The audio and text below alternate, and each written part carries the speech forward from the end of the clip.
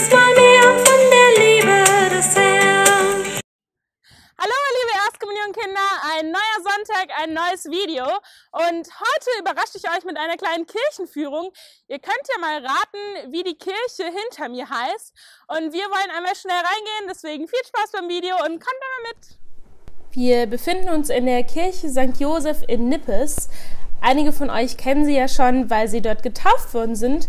Und gerade laufen wir ein bisschen durch den Mittelgang. Schaut auch einmal links und rechts, was ihr so erkennen könnt. Dann wisst ihr auch, was so im Laufe des Videos einmal interessant werden könnte. Wenn wir weiter durchlaufen, laufen wir direkt auf den Altar zu. Ihr seht schon, über dem Altar hängt ein großes Kreuz und ich finde es immer sehr schön, weil das Kreuz dahinter genau parallel liegt. Mit dem Kreuz, was genau über dem Altar hängt, schafft man eine Verbindung zwischen Himmel und Erden.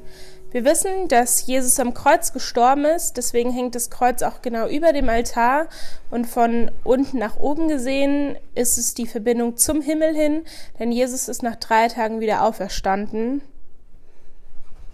Gehen wir jetzt noch einmal die Stufen runter vom Altar, und ihr habt vielleicht gesehen, links und rechts sind zwei große Heiligenfiguren dargestellt. Und die erste Heiligenfigur, die wir uns anschauen wollen, ist sie auf der linken Seite. Das ist Maria mit dem Kind Jesus. Maria und Jesus sind in ein goldenes Gewand gehüllt. Und es gibt eine Bibelstelle, in der es heißt, eine Frau mit der Sonne bekleidet, der Mond war unter ihren Füßen und ein Kranz von zwölf Sternen auf ihrem Haupt. Jetzt schau mal genau hin, ob du es auch alles erkennst, was in der Bibelstelle steht. Maria steht auf einem Mond. Sie ist bekleidet mit einem goldenen Gewand, welches die Sonne symbolisiert, und sie trägt auf dem Kopf genauso wie Jesus eine kleine goldene Krone.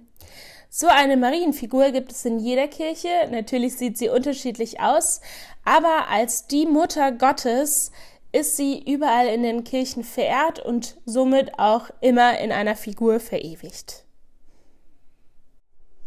Auf der rechten Seite seht ihr nun den Heiligen, nach dem die Kirche auch benannt ist, den heiligen Josef. Werfen wir dazu nochmal einen Blick in die Bibel. Und in der Bibel selbst erfahren wir gar nicht so viel über Josef. Wir wissen nur, dass es der Adoptivvater von Jesus Christus ist, der ihm das Handwerk des Zimmermanns gelehrt hat. Und wir hören auch von der Geschichte von Jesus im Tempel, als ihn Maria und Josef gesucht haben, verzweifelt gesucht haben und Jesus darauf antwortete, weißt du nicht, ich bin im Haus deines Vaters. Und vielleicht erinnert ihr euch auch sogar daran, genau das ist nämlich das Bild, was unser Erstkommunion-Motto ist.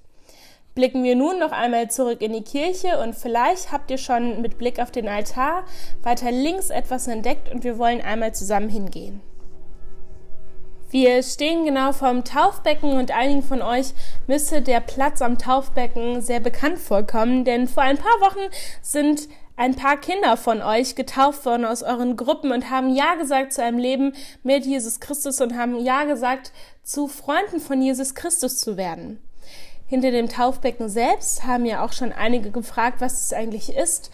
Es ist der Tabernakel und neben dem Tabernakel in einem kleinen, ja, rötlichen Gefäß das ewige Licht.